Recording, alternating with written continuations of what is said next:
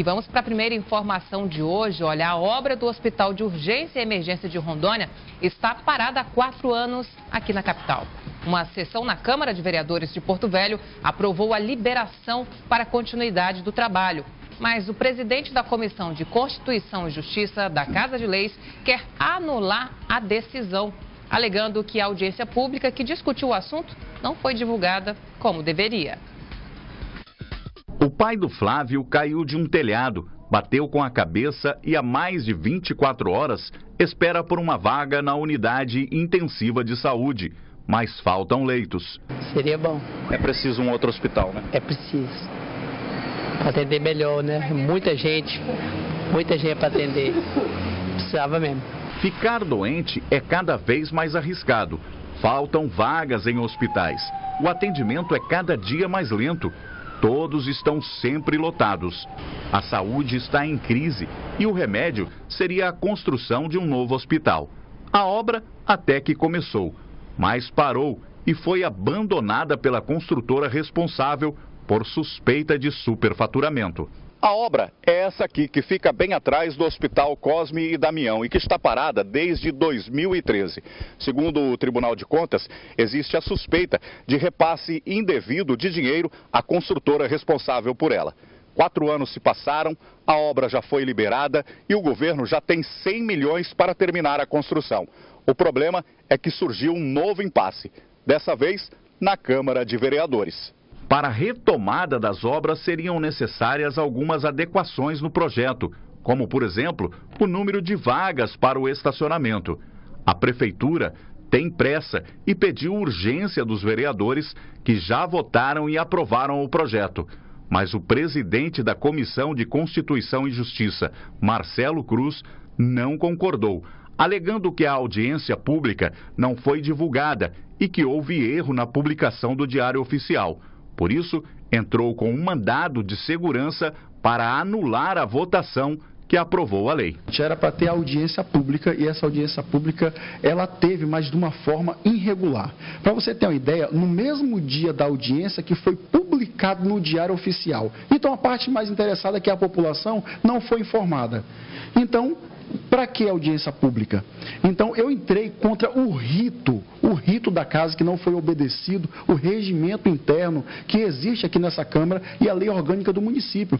Para o procurador-geral da Câmara, Giuliano Santana, que já recebeu o pedido de justificativa da Fazenda Pública, será impossível inverter a decisão que aprovou a lei. A Procuradoria da Câmara acredita que, com a publicação da lei, o mandato de segurança perdeu objeto, porque não se trata mais de projeto de lei, e sim uma lei complementar já devidamente publicada.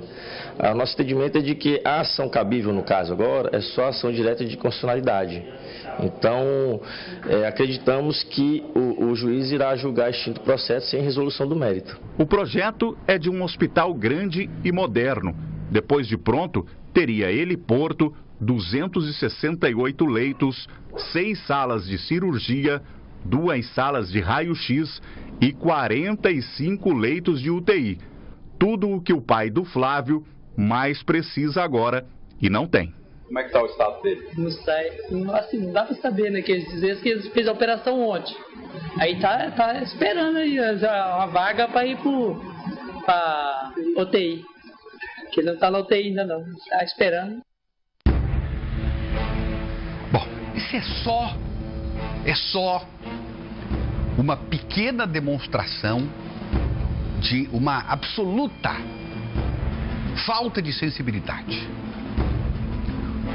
Só mais uma demonstração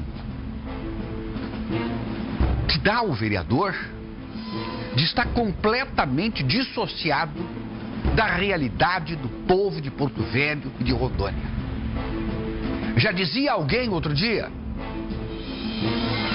a necessidade ela pode pode suplantar a lei. Aquilo que é necessário, aquilo que é importante, aquilo que é fundamental, para pouquinho nós vamos ficar agora presos a rito. Uma porcaria de um rito. Se nós quisermos agora 10 audiências públicas. 10! Eu não quero mais uma, não, quero 10. Não vai mudar nada. Não vai mudar nada. Primeiro que vai meia dúzia de gato pingado. Isso é uma mentira. Isso aí tem outra coisa no meio que eu não sei o que, que é. Porque não pode alguém ser, apaixonado por audiência pública. Não pode. Não pode. Uma coisa que não serve para nada. Isso é uma coisa que o governo do PT inventou para poder inventar, para enganar o povo que o povo está decidindo alguma coisa quando não decide nada. Quando as coisas acontecem, a audiência pública vai tudo já decidido. Salvo honrosas exceções, mas, mas honrosas exceções. Quando alguém diz, não, mas eu fui numa audiência pública que tinha 100 pessoas, é porque levaram de caminhão, de ônibus, de jegue, para poder juntar gente e defender o interesse de alguém. Então vamos parar com esse negócio. Vamos parar a obra do hospital, de atrasar o reinício da obra do hospital, tão necessário e fundamental para atender as pessoas mais necessitadas desse município, por causa de uma porcaria de um rito. Se nós vamos falar de rito, eu vou aí para a Câmara amanhã e nós vamos discutir o que é rito. E nós vamos ver os ritos que foram obedecidos nos últimos tempos. Vamos discutir rito, sim. Vamos discutir rito. Isso é uma hipocrisia. Isso é, é, é, é para complicar. Eu não sei por que algumas pessoas têm interesse em dificultar as coisas para tirar vantagem. Não sei que vantagem. Pode ser até política eleitoral. Pode ser até isso. Não, eu tô, eu, eu tô indo contra o hospital porque isso dá voto. É vantagem. Não pode ser assim, me desculpe. De novo, e de novo o mesmo vereador, que não conheço, não sei, respeito, não, não tem por que não respeitar. Mas ele está errado. Ele está errado. Se ele critica a licitação, se ele critica a prefeitura, se ele critica a Câmara de Vereadores toda é a casa dele, eu tenho o, o direito de criticar ele também. Tenho direito. E se ele quiser me criticar, que me critique também. É. Porque olha assim, pelo amor de Deus, isso é um absurdo. As pessoas clamando um, atendimento decente, uma obra. Outro dia eu contei. Um vereador de Porto Velho fez uma denúncia contra a água que estava sendo construída, as, as, as, as todo o sistema de água em Porto Velho. Eu não, eu não sei se água ou se é de esgoto, não lembro agora, não importa. Uma obra grandiosa de 700 milhões pois foi lá em Brasília, no Tribunal de Contas da União, e denunciou a obra. Isso no governo Cassol. Pois o Tribunal de Contas veio aqui e parou a obra. Mais ou menos uns 10 anos. E depois, e depois, Passado todo esse tempo, o tribunal veio aqui e disse: Olha, é, a, gente quer pedir desculpas porque não tinha nada errado na obra. Agora vocês podem continuar a obra. Que obra? Que dinheiro? Que licitação? Que empresa queria fazer obra? Teve que licitar de novo. Governador Confúcio Moura me disse um dia que só aquela parada para fazer uma nova licitação, porque ninguém mais queria fazer com os preços antigos, foi mais de 100 milhões de prejuízo para os cofres do Estado. E vocês sabem onde é que está o vereador? Vocês sabem onde está o vereador que parou as obras de Porto Velho? Sabe onde está? Pois. Pois eu não sei, porque ele sumiu. Ele sumiu. Ele foi pro ostracismo. É uma pessoa até, até eu gosto dele. Até eu gosto dele. Mas errou. Errou do jeito que ele errou. Um prejuízo insanável. Insanável. É saúde pública que foi trancada naquele tempo e agora de novo. Parei um pouquinho. Aonde é que nós estamos? Que porcaria de lugar é esse que vem um, um, cidadão sozinho e consegue parar uma obra grandiosa que é do interesse de toda a população de Porto? Como é que pode a vontade de um suplantar a vontade de mais de 500 mil? É, mas está faltando a data. Olha, o que a data da, da, a data foi publicada errada. Mas eu quero saber de data. Eu quero saber de hospital. Eu quero saber de gente sendo tratada com, com respeito, com decência, com dignidade. Eu quero salvar vidas. Eu quero, eu quero parar de ver gente deitada nos corredores do João Paulo. É isso que eu quero. Ah, mas a audiência pública, a audiência pública vai atrapalhar isso. É por isso que eu odeio essa fantasia de audiência pública. É por isso que eu odeio. Não é não gosto, eu odeio, eu tenho ódio de audiência pública. Porque isso é uma farsa. Isso é uma farsa para dizer que o povo está sendo ouvido. Ninguém dá bola para que nós, pobres coitados, falamos aqui. A gente só é ouvido nas urnas. E é nessa hora que nós devemos mudar esse país. Ah, porca miséria! Me desculpe, me desculpe. Me desculpe vereador que está nessa campanha para parar o hospital. Me desculpe. Mas eu não posso perdoar. Eu não posso me calar.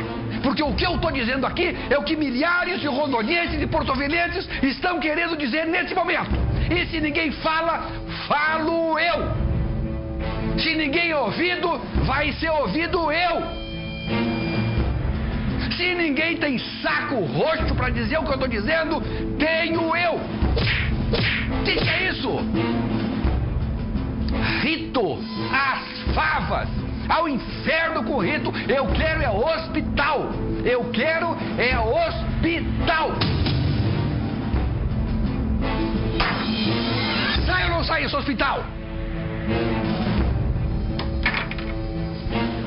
Digerir tudo isso juntinhos e aí, enquanto a gente respira, pensa sobre toda essa lambança aí, a gente vai falando de coisa boa, gente, porque o Rondocap deste domingo vai sortear dois carros juntinhos no valor de 80 mil reais. Rondocap é autorizado e fiscalizado pela SUSEP, garantindo transparência e respeito por você. Não arrisque a sorte, não, arrisque a sorte, não o seu dinheiro, viu?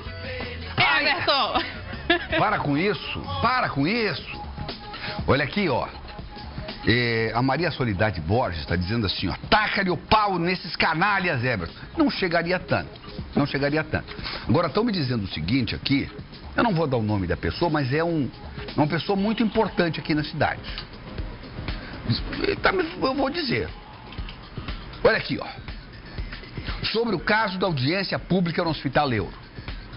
Esse mesmo vereador que diz que não teve audiência pública, de forma correta, foi ele próprio quem convocou a audiência e não foi participar. É mole. E como não deu quórum, apenas três vereadores participaram. Quer dizer, aí as coisas começam a escarafunchar e aí as coisas começam a, surgir dos do subterrâneos. Quer dizer, audiência pública só tinha três vereadores. Aí quem pediu audiência não foi na audiência. E eu acho o seguinte, não tem que fazer essas. É, ah, mas a lei diz, sabe? Tá, então vai lá, vai um vereador, faz de conta que tem, porque ninguém dá bola para audiência pública mesmo. Gente, eu vou dizer um negócio para vocês aqui. É o mote que tem um grande movimento surgindo nesse país nesse momento. Um grande movimento que está dizendo o seguinte: a frase eu disse quase, a necessidade não obedece à lei. E olha que eu sou o maior defensor de nós permanecermos num Estado democrático de direito. Eu sou um dos maiores defensores. Quem acompanha os nossos programas aqui na rádio sabe o que eu estou dizendo. Ninguém defende mais do que eu o Estado democrático de direito. Agora, parei um pouquinho. Quando a coisa vai para esculhambação, nós vamos cumprir um rito de uma porcaria e tem que ter coragem para dizer isso. Que todo mundo diz que a audiência pública é uma porcaria mesmo, só que ninguém fala.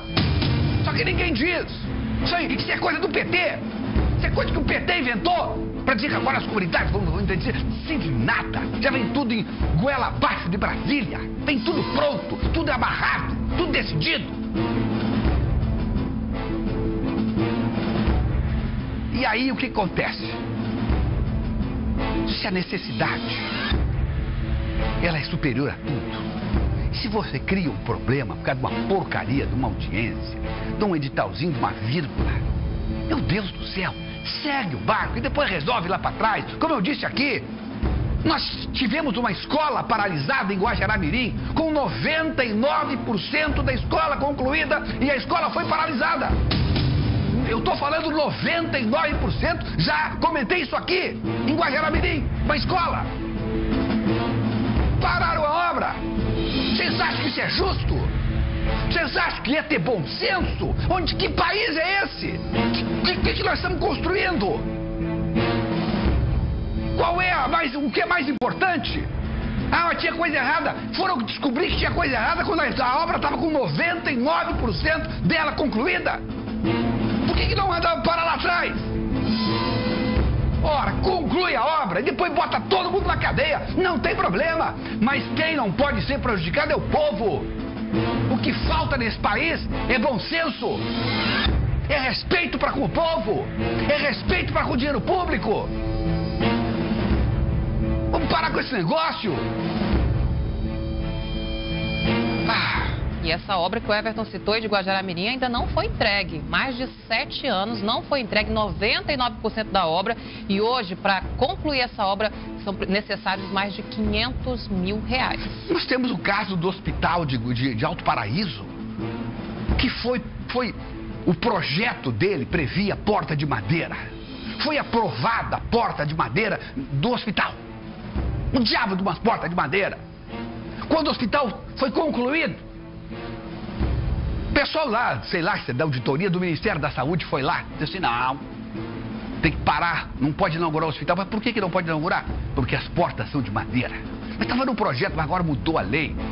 E só pode inaugurar com porta. Bom, resultado, o hospital foi inaugurado com dois anos de atraso. E a pobre da prefeitura de Alto Paraíso gastou mais de 600 mil reais para ajeitar aquela porcaria. E aí eu, eu não vou ficar indignado. Eu vou achar que está tudo certo. Eu poderia passar horas aqui, horas, falando de obras paralisadas sem a necessidade de ter paralisado. Horas, dias, semanas. Ver quantas milhares, milhares, estou falando milhares de obras nesse país que estão paralisadas por causa de porcaria. E as obras que custavam X, hoje custam mais X, mais Y, mais Z. São intermináveis. O dinheiro que foi colocado ali. Ah, mas nós desconfiamos que tem ali 100 mil reais de comissionamento, não sei do que. Tá bom. Resolveram 100 mil reais, o prejuízo agora é de 2 bi. É assim que funcionam as coisas nesse país, sem respeito ao povo desse país. A hora que alguém vier, não eu que sou pequeno, a hora que vier alguém e falar tudo o que todo mundo sabe, mas não pode dizer, esse país pega fogo. Esse país pega fogo. Não é possível nós continuarmos do jeito que a coisa está. E a gente, a saída é uma. No ano que vem, no voto, mudando tudo. Porque não pode o país como o nosso, vocês me desculpem, me desculpem. Tem gente que ama o Lula, tem gente que ama o Bolsonaro, tem gente que ama não sei quem. Mas não pode um país em meio a uma maravilhosa Santa Lava Jato, que veio tardiamente até, mas em meio a tudo isso, com toda podridão, com tudo isso que está putrefado vindo à tona, a gente vê nas pesquisas eleitorais Lula e Bolsonaro liderando as pesquisas. Não é possível. Eu não acredito. E pior, esse povo que está hoje lá em Brasília, que se não for preso até a eleição, vai tudo ser reeleito. E aí, a culpa é minha, a culpa é sua, a culpa é de todos nós. Vamos abrir os olhos. Ainda hoje, ou melhor, ontem, um desembargador, através de uma mensagem, participou do papo de redação. E dizendo que, antes do poder dos militares, do poder da justiça, do poder de quem quer que seja, a grande força que nós temos nesse país é o voto. Esse é que deve imperar. Mas do jeito que vai, com as pesquisas que estão, eu estou aflito. Eu estou aflito. E eu só quero ver, eu só quero ver, eu só quero observar quem é que vai substituir o governador Confúcio Moura. Porque tudo isso que foi feito, tudo isso que foi transformado nesse estado, isso pode ser destruído em duas caretadas no primeiro dia do próximo governador, que eu não sei quem é. Vamos abrir os olhos. Vamos saber quem é que vai suceder o governador. Estou falando isso aqui como cidadão, num ato até cívico da minha parte. Pode até discordar de mim. Pode até discordar de mim. Mas quando a gente tem um governador que é festejado por todos os outros governadores desse país, que o considero o melhor governador do Brasil, vamos parar um pouquinho, vamos parar para pensar. Eu não quero que esse Estado, que eu vivo nele há 35 anos, comece a andar para trás. Nós, nós que eu digo, eu e vocês, não merecemos isso.